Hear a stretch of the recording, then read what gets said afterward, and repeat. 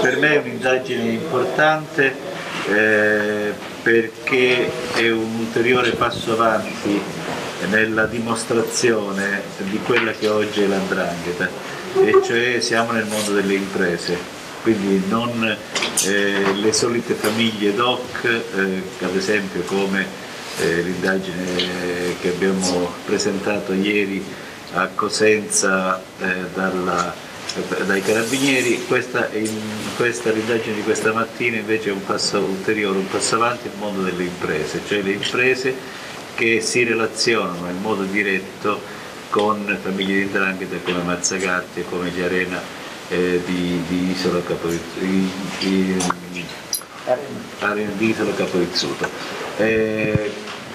decine di imprese che, in, che noi inseguiamo e loro cercano di mutare pelle nel corso degli anni eh, proprio per non farsi acchiappare sul piano delle misure di prevenzione, sul piano dell'intervento antimafia e poi sul piano penale. Eh, ma questa volta la Guardia di Finanza è stata più brava di loro, è stata più veloce di loro ed è riuscita eh, attraverso questa indagine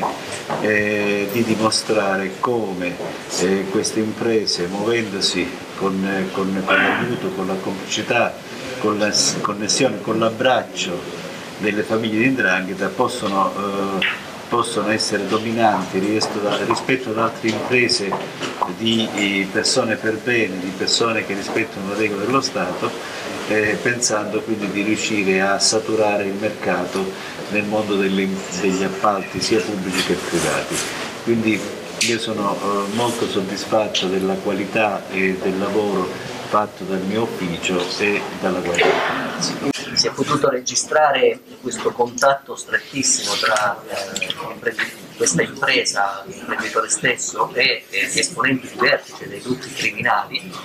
in un rapporto di reciproco sostegno, un rapporto di reciproco sostegno che si realizzava per quanto riguarda l'imprenditore nell'ottenimento ovviamente di una serie di eh, attività, imprese, iniziative economiche, sia pubbliche che private, e ehm, ovviamente nella protezione che le cosche di Drangheta assicuravano allo stesso eh, imprenditore nei luoghi in cui questo svolgeva la sua attività eh, economica. Come si diceva prima, L'impresa peraltro ha eh, ottenuto una serie di appalti attraverso delle società che di fatto erano altri, eh, che erano formalmente intestate ad altri soggetti, ma di fatto erano riconducibili alla gestione diretta del, dell'imprenditore stesso, per cui realizzando una serie di reati di intestazione fittizia di beni, beni aziende e imprese, in questo modo appunto ottenendo anche l'acquisizione di appalti pubblici. E poi attraverso un vorticoso giro di eh, trasferimenti finanziari le somme di denaro andavano a confluire ovviamente nel patrimonio dell'imprenditore stesso. Un'indagine molto eh, complessa sul piano patrimoniale che la Guardia di Finanza ha svolto con ovviamente la solita professionalità che eh, gli è proprio, ma impegnativo anche nella ricostruzione dei rapporti che il gruppo imprenditoriale ha avuto con la criminalità organizzata in tutti questi anni e che si sono registrati, come dicevo prima, tanto con esponenti della criminalità organizzata nella provincia di Reggio Calabria quanto con eh, le criminalità organizzate, i gruppi, i clan criminali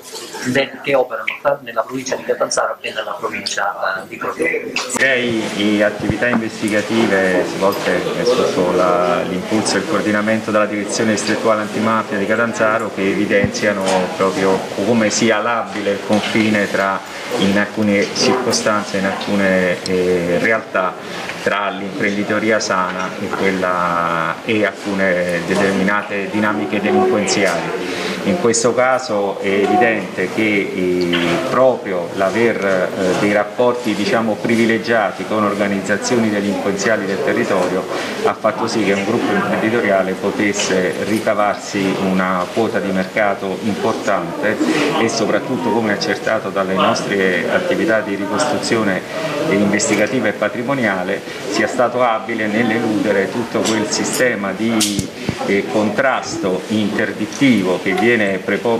posto in essere nel nostro ordinamento proprio per evitare le collusioni nell'imprenditoria sana della criminalità organizzata. Infatti il principale capo di imputazione è proprio l'aver eh, eh, svolto una serie di attività per sottrarre eh, l'intestazione delle società ai reali proprietari così che da eh, eludere proprio il sistema di sorveglianza antimafia.